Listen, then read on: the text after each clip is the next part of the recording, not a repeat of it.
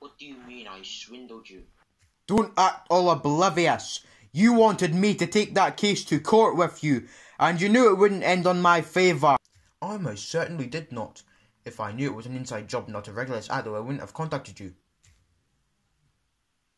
You despicable crapper! You knew it wouldn't end in my favour, and you were very persistent that I sue the army, promising remarkable compensation. But in the end, all the legal fees I paid you there for nothing. Well, that can sometimes happen. I'll get you for this. Who knows? You may have even had a part of this conspiracy.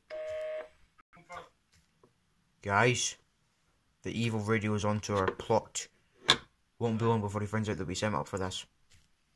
You despicable crapper! It must be broken. Oh, here it is. We'll deal with him later today. Right now we're to set up a trap for some of the worst enemies that we've got. After that, we instruct the sidekicks to be rescued. But first of all, we instruct the heroes to take care of the villains and collect their money, and then get the sidekicks.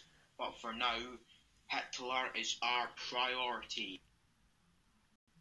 Wait, what? Oh my god.